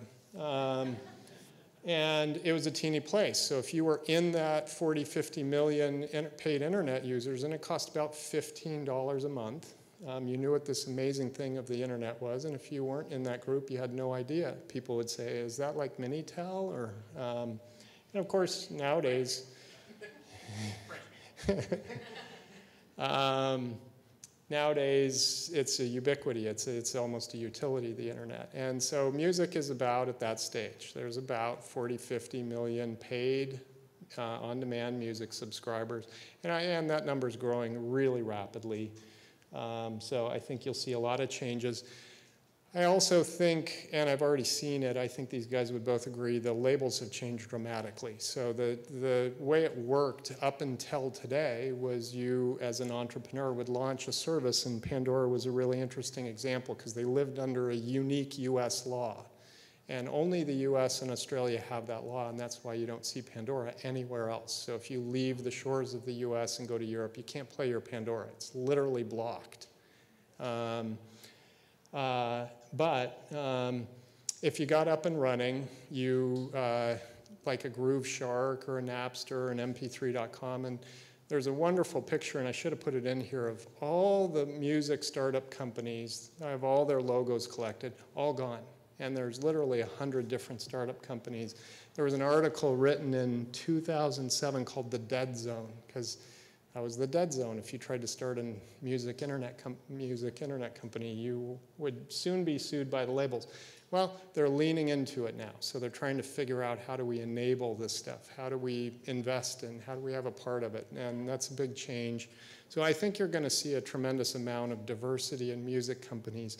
If uh, any of you remember a company called uh, Turntable FM, it was a great, great, it's Seth Goldstein, yeah, great idea. It, it was uh, these virtual rooms that you went in and Q-Tip could DJ or Zane Lowe or Tom Conrad or whoever, and you could just hang out in the room.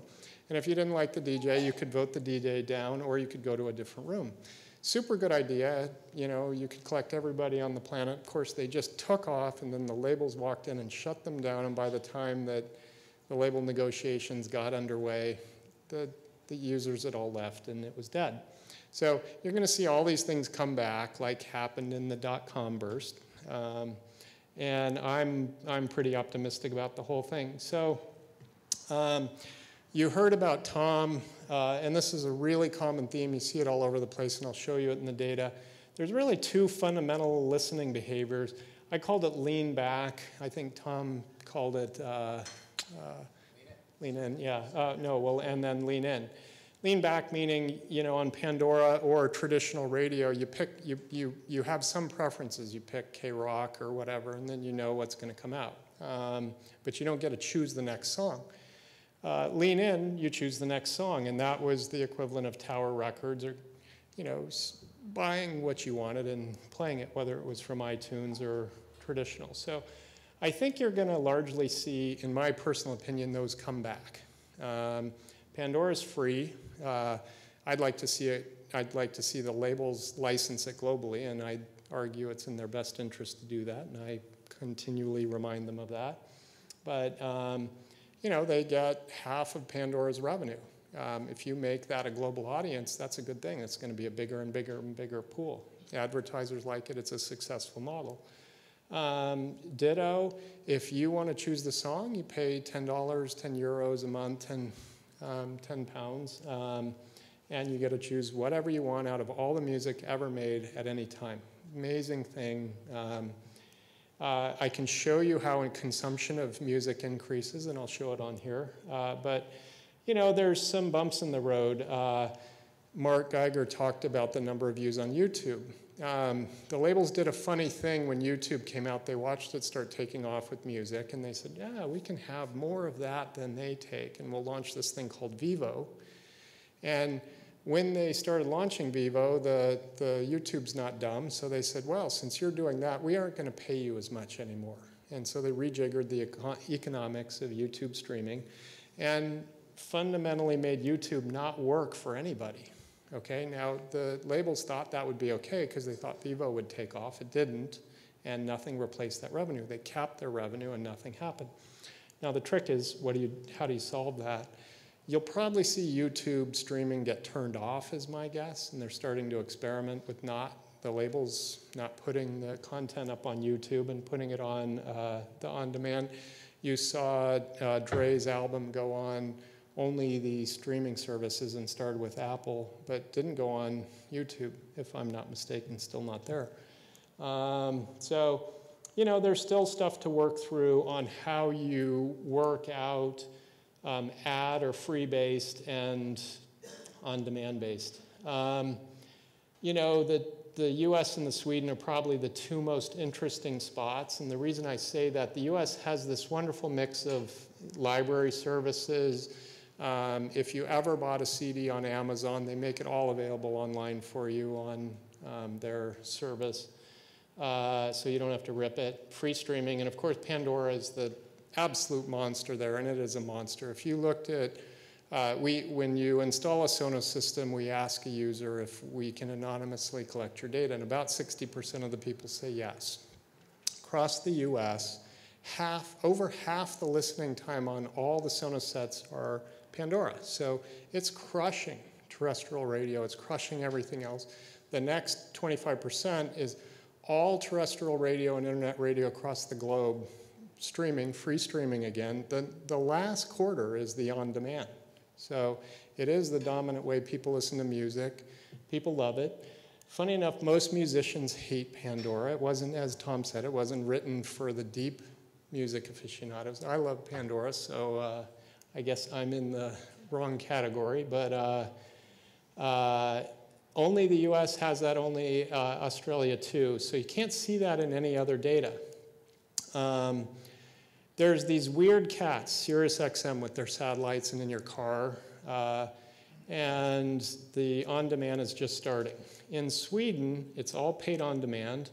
And then what you watch is the free streaming is, of course, the radio stations you can stream over the internet, but there's no internet radio. And Beats One is the first one available in Sweden. And if you want to compete with Spotify, you're probably not going to get the Swedes to switch to your subscription service. You've got to do something that Spotify isn't doing in Sweden and get people on that. And so you can see that's why Apple is doing things like the um, Beats One service. So, you know, what's Apple's impact? One of the most positive things I watch is they got the labels to see that global streaming radio was important. They couldn't see that before. Um, you know, they, they just couldn't even see Pandora and they couldn't imagine letting them off the uh, coast of the US. So that's happening. Uh, Google has a wonderful service they've made free and they're working on global, so you're going to see a lot of activity on these fronts. Um, you know, here's a roll up of services, just for example Apple Music and Beats One, Spotify, Pandora. Google Radio on demand and YouTube, SoundCloud. If you're a, if you're a music aficionado, SoundCloud's a wonderful service. Deezer, that's a French on demand service title. That's the one Jay Z's got gone after in Norway. Rapster, Napsody, they were the first on demand. Rhapsody really was. Uh, uh, Rdio, both of those kind of ran out of stream. Amazon's kind of sitting out of this one. They've got an Amazon Prime Music service. If you're a Prime user, you get it, but they don't have universals. So that's 40% of all recorded music, about 50% of the most popular music. So it doesn't work real well. Slacker, Stitcher, these are radio services in the US. Uh, China has a huge diversity of different services. Uh, QQ Music is a lot like a Pandora. Uh, uh, Alibaba, um, you've heard of, uh, they have a music service, um, Kugou and Kuyu. Douban is the Pandora knockoff in China. Um, the US has these weird pieces, Cumulus, iHeartRadio, and Sirius. There's really nothing like that outside of the US. Um, It'll be real curious to see what Sirius does. 27 million paid users, and um, I think they typical $20 per month per um, family. That's two cars. Uh, well, every car is getting internet connectivity, so are you going to sit with Sirius or are you going to use one of these? And that's going to be a big battle. They're going to have to do something. Um, uh, Europe, uh, you have services that are associated with the retailers. MediaMarkt, which is Best Buy, has a service called Juke. Fnac, which is kind of like Best Buy for France, has Jukebox. So yeah, there's a lot of diversity here, and there's a lot of new ideas coming along. So it's pretty healthy, actually. All right, um, I told you we measure people's usage. This is hours in a week. Um, so here's how they kind of roll out. You see the streaming services, Pandora, Songs, uh, and uh, geez, I forgot which one that one is. Uh, uh, they're, you know, 14 hours a week. That's a lot of listening time, believe it or not. Um, we had lots of debates inside of Sonos. Is that because people walk out of their house and don't turn it off? Or, and so we put features in because Pandora would be paying for that if that happened. It's not true. People are listening. Might be at work. Might be uh, you know, in the kitchen it might be background, but it's, it's a lot of time. Um, the US has this middle tier because you have uh, Sirius XM and it sits iHeartRadio, it sits in the 8 to 10 hours range. Then you have the on demand services, they're about six hours. So that's uh, uh, Spotify, Google, Rhapsody. And then I call it specialty on demand if you look at a SoundCloud and there's a certain band you like, you'll you'll follow them and they'll put their cut tracks or things up there. But um, they don't have the same library these guys have. Um, they may launch services like that, but they sit down there and they have a huge attach rate. So uh, if you like music, you're highly likely to be a SoundCloud user. And then the icon here is people do still have tracks on their mobile phone or whatever they stream, and we see those.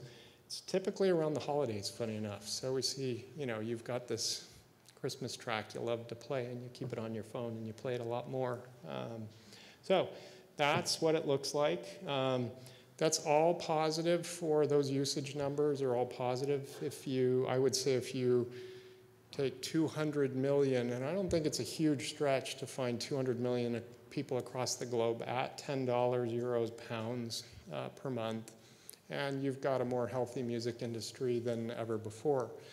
Now, the challenge is uh, for like a Universal, they just saw their revenues hit the lowest point. Now they're now they're on the way up, so it's all on the way up. And I'd say if you want to watch the health of the industry, watch ASCAP or BMI. They're the people that collect the songwriter fees, and it's just a pretty clean metric.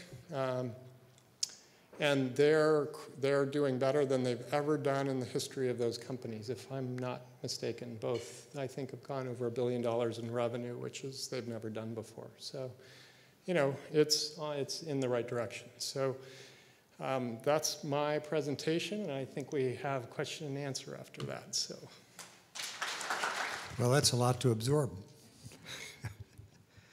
um, I guess kind of a, a, general question is to just say to you all, are, did any of you say anything that others of you disagree with? Because there was a lot of, of um, similarity, but I did, I did think there were some things where there might be some divergence. I think I'm probably the most optimistic on the number of subscriber number paid on demand. Maybe Marc, you and I are in that boat. Tom, Tom's much more I mean, skeptical. I think 200 million is a really exciting number when you forget that there are another 7.8 billion people on the planet Yeah. who want to get their music through this streaming format. Maybe not all 7.8 billion, but that's certainly the number that Mark Zuckerberg is going after. And it seems a little, hmm, I don't know, almost cynical to me to say that the future of music looks like getting 10 bucks a month from 200 million people.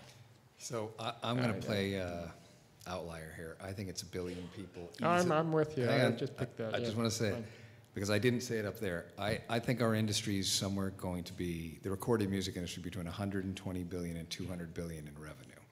At its peak was what, John? 34. 34. So I'm beyond bullish. Um, this guy and I have the exact taste I'll in music. He's gonna, make he's it gonna fight. freak out later because every artist he bought, I represented, and I'm he, and he's will freak out about music. But um, the slide he put up that said things I worry about, I think are all things that I would never worry about, and I think they're either temporary conditions or what have you. But I, I believe there will be a minimum of 500 million to a billion paying subscribers, and the rest will listen to Pandora or Pandora-like services.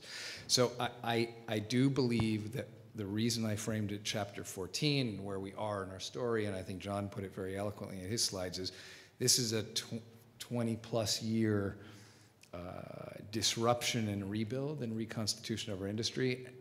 But when you see countries, not only like Sweden, you see the adoption, you see people's habits, and I believe that it's, most people don't go backwards in functionality. I think Tom's 100% right, and John is that there's lean in and lean back type consumers. That will never change, but once you go to Apple TV and then you go back to your cable system, you look at that horrible time channel TV guide that no longer makes sense, it, it kind of is hard to go backwards. I know my children, if you took their Sonos and Spotify away from them at this point, there'd be a mutiny. Um, and I'm not kidding. And I, I think we're going to grow and hockey stick. And so if we came back here and you invited us back in three, five, whatever years, I think we'd have a completely different set of numbers, metrics, monies. And I think the things he said, because you asked about not agreeing specifically that slide, I think would be done already. Today, I can see it, but I believe they're temporary conditions. Yeah, I That's think there's two. one more thing I left out, which is really important out of that 40 or 50 million, depending on whose numbers you believe for the paid on demand. Three quarters of that is under 20. Okay. And, and, by the way, years ago, John told me what people were doing on Sonos, and it was more radio, less Pandora, and streaming services were tiny. Yep. So when you look at the migration away from terrestrial radio, even through your Sonos, into Pandora and streaming services, which is 75% of the time spent, you're already seeing tectonic shifts in habits. Um, everybody in this room who has children, I, I, I dare you to take however many screens away from your kids and stop them from streaming multiple things at the same time. So I don't think anything's going to go backwards. I think it's going to go forward. The only thing that's going to be different is it might be on your eye or in your ear or implanted in your brain versus in your hand. But you know, we'll be doing it. Tom, you're getting beat up here. You want to? No, no, No, no, no, I no. don't feel to be- no. I know. He- This is good for his business, his old Yeah, I, business. w- I would love to see you know all, all of those things um, you know positively addressed over the course of the next five years, and I, ha- I guess I have some optimism that that there's room for that to happen. Um, I think you took But- a lot of body blows at Pandora. but we, did, we did take a lot. I of have we to be. did. I'm on the outside. You took shots, and We it wasn't Man. fair. And when you take shots and you get beat up and you get pummeled, not just by the copyright holders but by the artists, right? You, go like your hands are up. You're Muhammad Ali rope doping in the corner, and it and it um, influences your thought, right? And it's hard to Sure, be positive, 100 percent positive. I mean, there's, there's no question that, that there was a there was a dark hour for just for me personally, um, in the conversation with the songwriters, actually in particular, who kind of came out of nowhere in the, the you know fourth quarter of my ten years at Pandora, um, disappointed in, in the way that we we uh, shared revenue with them. Um, you were horribly and- and- misunderstood. And we, were, and we really, and we really were. And um, at least that was my perspective, you know, sitting on our side of the table. I'm sure You there's were. a reasonable perspective on the other side too. Um, They were wrong. Uh, and it was, uh, I mean, it was just exhausting, and it was, it, you know, it contributed to my decision, like never fucking again. Well, look, the good news is you exited with a win. I was the period before you in the dot com. I got my ass handed to me. I Yeah. lost $60 million and got wiped out in the market crash of 2000. yeah. So I think it, it's 60, 80 companies didn't make it, and pro- two or three did. That's a that's an incredible phalanx to get through. and we were I, I think I think the Princess Bride actually gets it wrong. I think it's never get into a land war in Asia, never search a digital music company. Um, although you know you left a company that probably was one of the ones that's going to make it and have scale. So you know it's Yeah. it, it, it's funny to hear you say that when I got killed on the battle. But I get yeah, it. yeah, I get yeah. Fair enough. So one of your slides, Marc, talked about who's going to get into whose business. Um, it looks like a, you know, a, a feast for the investment bankers. I bring that back. Not even a question. Yeah. M and A is going to be through the roof. Yeah, it, it isn't yet. Like you talk to the venture capital community, and they've all gotten burned badly, like Yeah. Tom is. So they're pretty gun shy. But the bankers get commissions. They don't really care about the equity. Yeah, but there, you know, there isn't the, you, you need a diversity of companies for that really. So you're gonna see two waves. You're gonna see this first wave of these guys that didn't make it and made it, and then Right. it opens up, and then when the funding opens up, you'll see a hundred ideas. Right. Um, But, I you, mean, yeah, but you did see songs that get be, bought already, right? Yeah, that's so true. They, they got purchased. But and for a song, I mean, for a song, Song set- and well, they weren't very good. They shouldn't get. more Well. I, that was the thing I was about to five say. I think that I think part of the challenge is, um, and there are exceptions here. There's some really great work going on at Spotify, for example, in, in, in many deep areas. Yep. But there are a lot of services out there that they just weren't that hard to build, you know. And, you know, and frankly, Google has built a great one themselves and acquired some bits and pieces in, like through Songza. Microsoft has built a great one themselves. You know, uh, built Apple three, built built built one themselves and acquired a company. Um, uh, actually, several companies. Um, if you go back a little farther uh, to things like Lala. Yeah, you're right. Um, so I do think there's a. Uh, I think Spotify's going to be fine, but I, but I think when we talk about the the you know the the, the huge opportunity for M and A, like, mm, uh, really, who's going to buy these companies? Well, yeah, I, I, I let's think just watch. be- It's all in the future. It's yeah. predictive. So let's see, and everybody will. r- I mean, see in the next few you know- years and see what happens.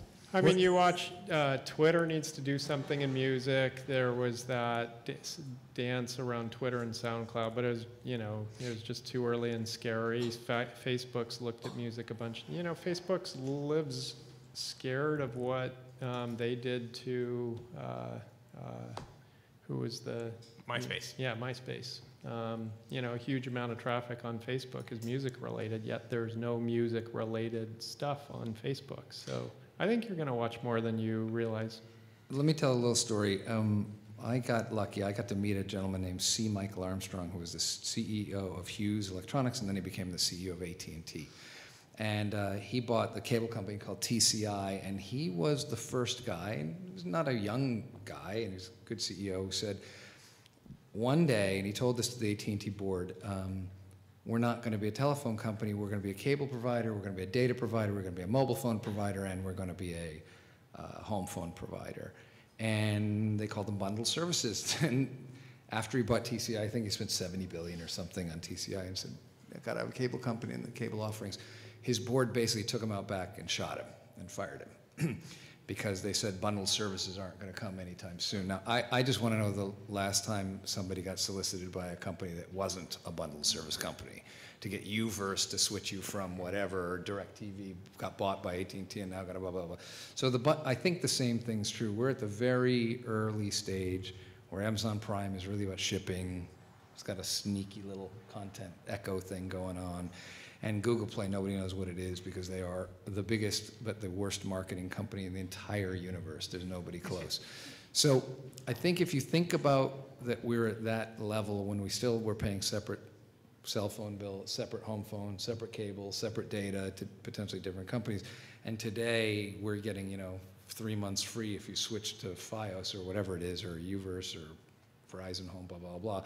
We're kind of there in the same time. So when people think about music subscription scaling or anything, everybody has to remember that it may be Netflix that gets you in. It may be Amazon Prime that gets you in. It may be uh, your kid is a video gamer, or you want to, you're a TV freak, or you're a movie you know, freak, and that drags in all the other services. So scale in subscriptions can come very fast when that happens. The other thing that we didn't talk about was, I think, John, correct me if I'm wrong, you're better at this. There was a micro subscription fact released that people are already paying $70, I think, or some amount for online subscriptions when you add all of the different Yeah. ones included. Your- that, I didn't see Your number. various Netflix, your, all, all these things already. Because, you know, one of the things that people are scared of is the $10, I want to Mm. rebut that in a minute. Um, By the way, when we all spent, it was about 60 bucks a year on CDs, which it was, you know, whatever study you believe. Yep. You weren't getting the whole universe of music, so it's not really a fair fight. Um, and, and to me, it's ridiculously cheap, but I think that consumers are already paying. And I, I have two boys. They both watch video. Has anybody watched game, their kids watch gamers play games online? Okay, so I know this is where the age cutoff really hits, right? That we're like, you're kidding. You're going to watch over eight hours some guy playing Call of Duty, and it's not even you. Um, so there's a guy that plays Call of Duty professionally online, and he has his own subscription service. So you can actually subscribe to him for five dollars a month. Okay, so you can watch one video game and play Call of Duty for five bucks a month, or you can get the entire universe of music and everything you want. Listen to it 24/7 for ten dollars a month. Now, for your So I, five, think, I think- I have an interesting question about that. yeah. I think again, to the people who start digital music companies, the idea that the product is all music at ten dollars a month is like seems like an incredible gift. It does to me. You're right. I used to spend, you know, I was Hey, I you and I spent bought hundreds of dollars on records, too. but like you know, and but I still got I had to like curate and like really think about which are the 40 records I'm going to buy this year because I can't afford more than 40 records. Um, but there is part of me that thinks that that's not like a mainstream consumer itch that needs to be scratched. I think this idea, frankly, that you subscribe to your favorite artist and you give them five bucks a month. That was my get- company, and it failed miserably. I yeah, but they I all failed right. miserably. It's all about timing. To, well, the I mean, if, if- to your point, if someone's going to pay five dollars a month to watch this guy play video games, don't you want to pay Trent Reznor five bucks a month for whatever? He doesn't put out as much content as the guy who's playing Call of Duty. It, you know, Well, obviously, and it's less. Maybe not. Maybe not in terms of hours, and but in he terms of quality, certainly. And he doesn't say your son's name, which is really why they're paying the five bucks, right? Um, the point was that I watched kids, if it's a push a button, especially if it's on dad's credit card, um, spend like a drunken sailor on subscriptions. And I've seen zero resistance. And it's an interesting phenom, but my real point is we're at the early, early point of this. And that when you watch um, my stepdaughter, who we all grew up with TV that started as free, old us old folks, then went to cable. We were paying, you know, our monthly fees for whatever it was, cable and satellite. But now in an Apple TV environment, if you're binge watching, you're now paying per unit. So I'll get bills where she'll watch X and they're paying $2.99, $3.99 an episode, right? Um, and it's infuriating because you're still paying your cable and all the other things. But what I'm watching is somebody who clicks watch, and the unit price is outrageous. So four TV shows out is a month of music all you can. That's not a val- close value proposition. I don't care what you say, right? Obviously, you hate music, it is, but you know otherwise it's not. And so every sign I'm seeing is that consumers are not freaked out about price. I think the communication, the marketing, the value proposition, YouTube, um, have been awful, like legitimately awful. And I think people like you, I mean, my own artists, David Byrne attacked Pandora and other services, and I had to take him out to lunch and say, "You are so wrong." Now he's on the board of SoundExchange, but. Um, it, it, it's an interesting, by the way, he's smarter now. Now the punches are going to fly. yeah. But the truth is, I think we're all overreacting early in the early in the game. It's just that the game took a long time to even get here. Yeah. So That that's that's what I wanted to. Can I uh, just go one more thing, and then I'd like to throw it open a little bit because I see people itching, sitting on their hands. Um, Marc, you also had a slide about the, the giants and that none of the ones that are there uh, existed 10 years or 20 years ago, and the ones that were there, a lot of them are gone. If you were running Bose, what would you do today? Buy Sonos. Two seconds. I, what, there's no other thing to do. Not Not, that you sale. could, but that's what I would do. I'd spend all day in Santa Barbara for two reasons. One, at Santa Barbara, and two, buy Sonos. and there's nothing else they can do. They can compete, but they're all those companies are kind of done. Okay. They, So they have to mean- evolve. You mean buy Sonos in the sense that Apple bought NeXT? Yeah, or bought whatever. You can, by the way, yeah, yes, yes. Or Disney bought Pixar. Yeah, exactly. Yeah, sure. Who Right, cares? It's a trans- transformative deal. That's all you can really do. Um, so if you were running Sony, where they won't even license within the same country, I, I wouldn't be running Sony. I mean, that's just. A, I don't even know what to tell you. They can't even make a good TV anymore. That's like, they got. They're getting killed in every. They're getting killed in every single. If you followed Sony and digital music services, Connect, and all the other things, forget the rootkit. This was a company we all grew up with that was, you know, state of the art technology mm-hmm. company. But if you track the things John and I tracked, presumably Tom did too, it, they made the dumbest mistakes and the worst mistakes and the worst launches. So I, I think it's unfixable, frankly. And now the hardware company's broken in addition to the software company. I think the only things that are valued there are the actual content, the music, the studios, the television. That, that, that's working. That's content. The rest of it is just throw it out. Yeah, if that company were in the U.S., it would have been purchased and broken up a while ago and worth a lot more, That, frankly. that company would have happened to what happened to Nokia. so that in effect, which on is the it's one gone, hand- right? Nokia's gone. It got bought by Microsoft, God knows why, and then basically Yeah. shut down. So on the one hand, we talk about people moving from the box that they're in to a box adjacent or down the line or whatever, but we've got good examples of somebody who's in a bunch of boxes and is totally screwed up and ought to be dismembered. So back to the M and A. They must have a Well, lot of they, investment. they have, com- I mean, they, they're a vertical company, so they make uh, some of the best uh, sensors for pictures. They do, they do all sorts of things. It's just, it's all tangled up with um, uh, a pictures company, a music company uh, that has no synergy between those. Um, you know, the PS4, I think, is beating Xbox right now, so that, that's probably the most valuable part in Sony. Um, but it, you know, the sum, of- the sum is smaller than the sum of the parts. Right, I remember All that right. is a company that tried to use the PlayStation as your Whole. cable box. yeah.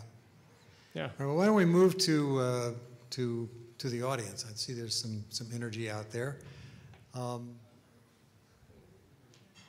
It- there- There's a marketing question. Um, What services do boomers use?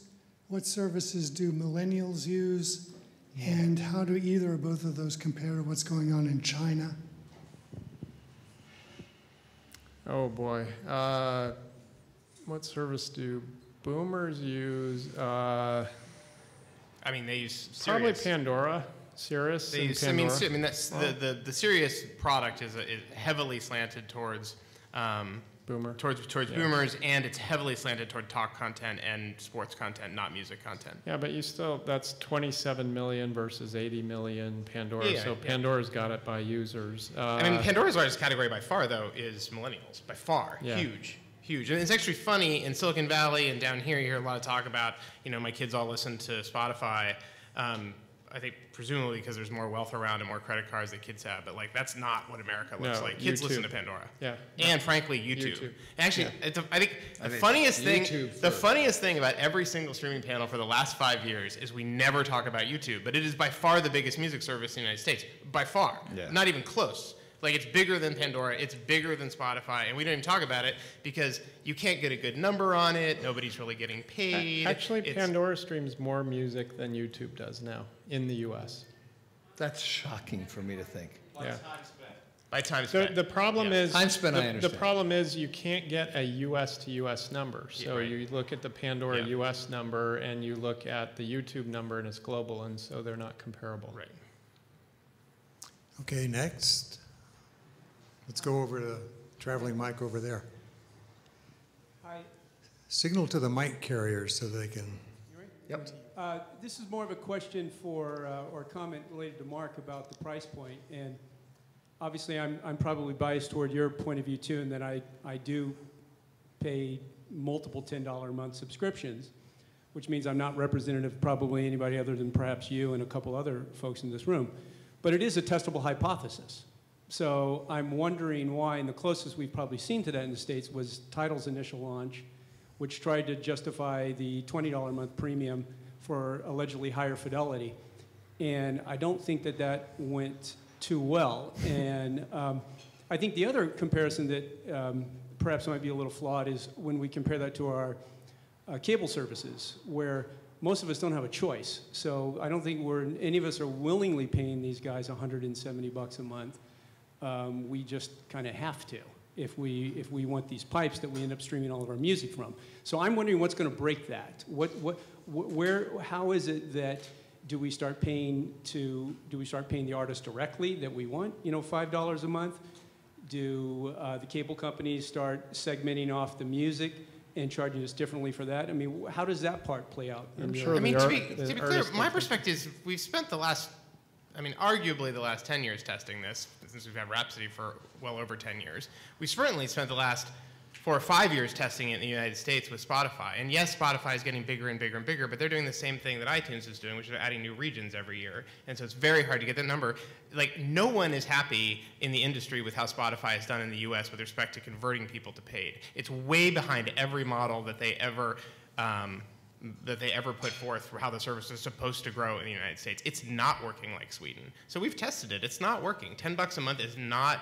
And now we, now, I know John's perspective is that they've been lousy at marketing, but my perspective is they, they were the dar- they are, were and are the darling of the, the press, and they've enjoyed tremendous, you know, word of mouth and goodwill. But they're still tiny in the U.S. I don't think they've been lousy at marketing. I just don't think they've done any marketing. And it's like you, Well, got, they have. you, you guys they- got they- started They, with. they spend all of their grassroots. marketing money on the free service, which is supposed to be their marketing program, It's and it's re- not working. Uh, John and I are very yeah. aligned here. Yeah, I don't agree I with think you at this all. is, he- he- here's what I'd say. It- When I give talks, I try to explain that um, if in another world we all transitioned our systems and we bought new dishwashers and washing machines that cleaned our clothes 80% better using liquid detergents, that the suppliers, Procter and Gamble and the other people that made, refused to make liquid and continually try and sell you powder. All right, and it's that it's that rub that it has been not supplier led. I think on the VMAs that I referenced was the very first ad I saw ever for uh, the that an artist's new album was available on Spotify, and it was the Weeknd, by the way. It was a client of ours. They, I think this has been a hugely, and by the way, I call it a poster child for disruption. I think music, above all other, more than television, more than movies, even more than books, when books went to the, to the Kindle and the iPad, are was massively messed up. And I can, from my perspective, see how beaten up Pandora and other people were, but I, I think this is a horribly confused message that's been sent to everybody. I think the labels almost said, don't pay for Spotify, and I think Spotify, it's been more in the tech press than people understand. But I, I know one thing, I give a lot of talks to college students and people under every single one of them listen to SoundCloud, Spotify, and YouTube. Those are the three biggies that they use. Pandora as well for lean back. College students tend to be leaning in, so it's a disproportionate thing. But I, I, I think just watch in the next few years because I think it's about to ramp. And uh, you're right that freemium hasn't worked, and I would say I was charging $2 an artist, $5 an artist, and that you, you, people bring it up now. I was doing it, and people say, "Oh, it's timing." So I think that's really the same answer. Yeah, and Tom, I mean, I know what the initial goals for Spotify were in the U.S., and th- they were with no marketing. Okay, so let's say it was 50 million in the first year, and that wasn't far off. You, you're just not going to get a change of behavior. You're not going to get people to open their wallets, put a credit card in to be charged $10 a month, and not do any marketing. But they spent heavily on marketing in No. the form of the free no, service. no, no. You're, Absolutely. You're, no. they pay you're- for all those tracks. You're, they could have. They could have run you're- television. You're calling that marketing. That is that's I- I- literally no, their no, marketing I- program. I they call it marketing. Okay, let me, let me break it up. I get it. The- Um, you can Melissa's- disagree on that one. I get Melissa's it. got a, And I a get question in a different direction here. Yeah. Was there a question anyway? It's it's coming, yeah. Let's, let's hope so. Um, So you guys talked about uh, a number of the services we have today, um, kind of disruption, and that the artists are now able to promote themselves, or there may be avenues for that. But what other types of disruptors do you see coming down the pipe? You guys are forward-thinking individuals, and um, where do you see things perhaps going, except either cavitating or taking off? Well, I, th- I think you're already ahead of the curve a little bit because the artists are figuring out how to market themselves. So you have you have the people like Taylor Swift who is just multi-dimensionally skilled, and she uniquely has a skill set and can make the you know decisions she makes and takes advantage of it. Uh, but most artists don't have that skill set. They're go- you, you go to the two guys from the UK, the Ruin brothers. They're they, they're artists, um, and that's when the marks come in, and the whole ecosystem is having to re uh, uh, learn. Like uh, uh, Tom talked about the artist management portal at Pandora, where an artist can come in and look at where their tracks are played. I've talked to all the labels. That one guy he referenced, Daniel Glass, is the one that uses that. He's Um, smart one out there, so it doesn't. And so they're not using, they're just not used to, they're not instrumented to use the tools that are out there yet. They're starting to get that in as the Pandoras and the Spotify has a huge program to show the labels and the artists where uh, the tracks are played and how often they're played. And frankly, it's for marketing purposes, a far better tool because what they had to use to listen to is huge extrapolations from Anecdotal. yeah, anecdotal. So there's a lot of really good stuff happening. It's just complete change. Yeah, let me speak to it for one second. 'cause This is it, it, it's even broader than that. In my era, there was one channel. There was no Spotify's. What there was the artist's official website, and that's really how it started in the early '90s ish, Yeah. mid '90s. And the artist had to, learn, artist manager, whatever. Before that, they'd lean on their record label, their publicist, and they'd do the work for them. And they'd show up, maybe do an interview or what have you. They'd make video. They'd go on tour.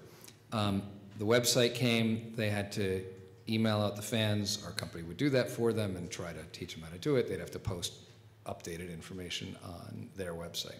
Fast forward, artists are not desktop publishers. They're not newspaper publishers. They're not daily publishers. They don't understand how to do that. Fast forward to where we are today with Instagram, Snapchat, Facebook, YouTube.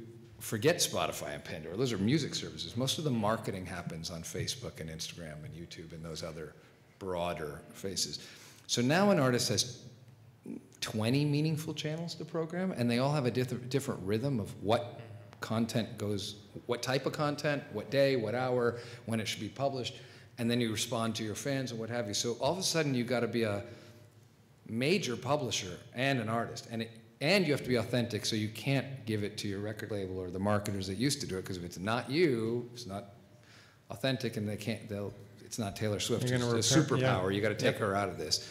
Um, so artists are really challenged with learning this stuff. And not only that, we did a count internally with our clients, a massive agency, 2,400 music artists. Their combined reach is 2.6 billion people.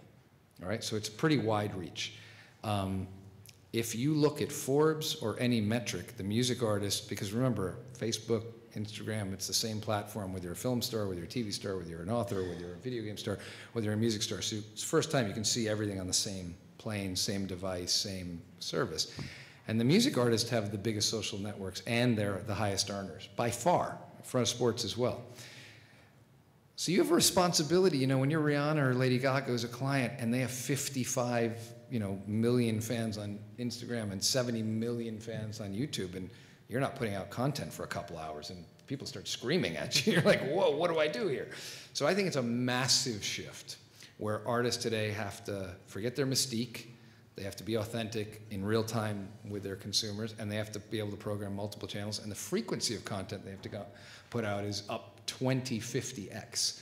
So it's a massive shift in addition to learning how to read Spotify and Pandora metrics. So that's the answer I give. So that's a huge. So it's just start, it's, I mean, it's just trickling in, just the beginning. I- I'll just, just to, just to provide one other sort of disruptive thing that I think is coming. I think we've made a lot of progress in the last 10 years um, with respect to personalize the music listening experience around a single person. So, you know, as I talked about, like pretty terrible, like kind of playlisting experience on Pandora in 2004, getting pretty good in 2015. But it's still really just about you. And I mean, one of the great things about music, what makes it social, is that we experience it together. It's on Sonos in our home. It's in the car with our family. It's it's at, in a, a, a bar and you know in a in a in, the, in your place where you get your haircut. And I think one of the really interesting things starting to happen is all these great minds that have, have been focused on how do we personalize a single stream are starting to think about how do we po- how do we personalize for the group of people that are in the room and how do we dynamically change that as people come in and out.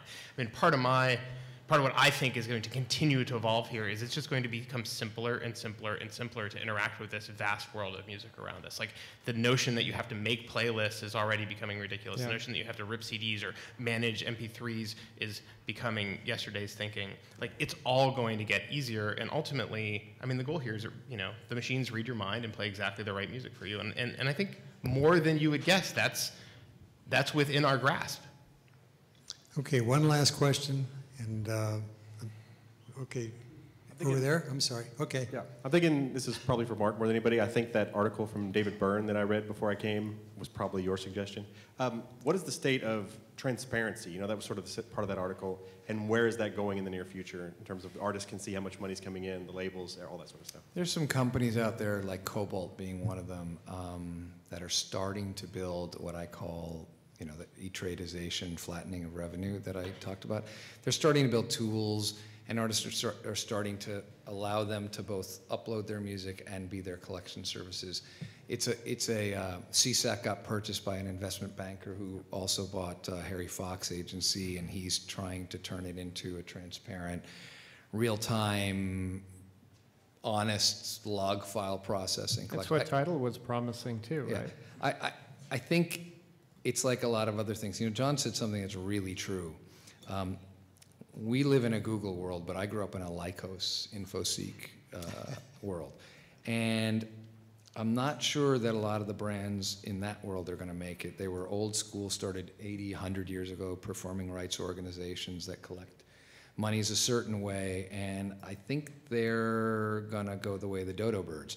And it's gonna take a while, it's probably a five to 10 year re-engineering process, but I think we're going to, because remember, the, the movie producers want this and the actors, the TV studios want this, the authors want this. Everybody who is paid at the end of the digital transaction wants a clean, transparent, they know what was sold, they know what the, who the user is, and they can market talk to them and talk to them, and they see the when the things hit, when it's downloaded on Netflix or play on Netflix, they want it in their account X minutes later, and it's all possible from an engineering standpoint. So I think we're on the five to ten year track. It's not just going to be music.